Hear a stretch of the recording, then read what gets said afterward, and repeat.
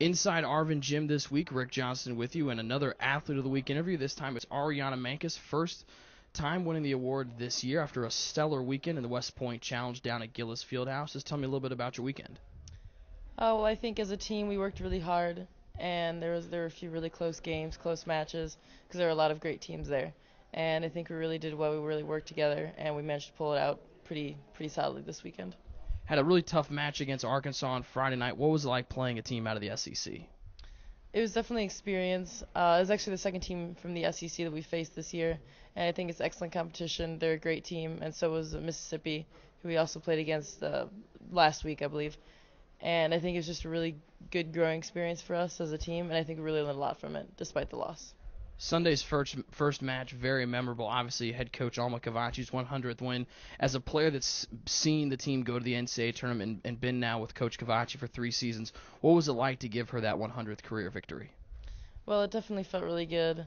Uh, we were all kind of pushing for it. We we had discussed it before the match. You know, hey guys, we're doing this for more than just ourselves.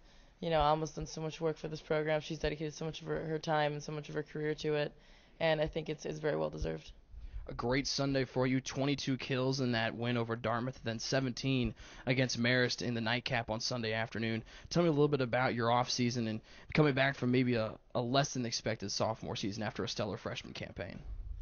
Well, uh, again, I, I just think that it was really, it was really good to to work with the team again and see everybody. And preseason, everybody was working really hard.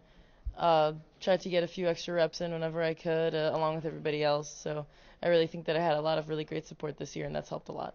How much fun is it to play with your teammates out there? It seems every time you guys take the court, smiles all around, even in the tough match like Arkansas or something, still trying to find a way and having a lot of fun playing volleyball.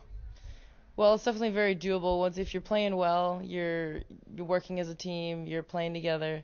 Uh, it definitely it's a lot of fun. So you you get a lot of energy, and somebody gets a sweet kill or a big block or something like that, or a good dig everybody's screaming and jumping, and that makes it so much more fun.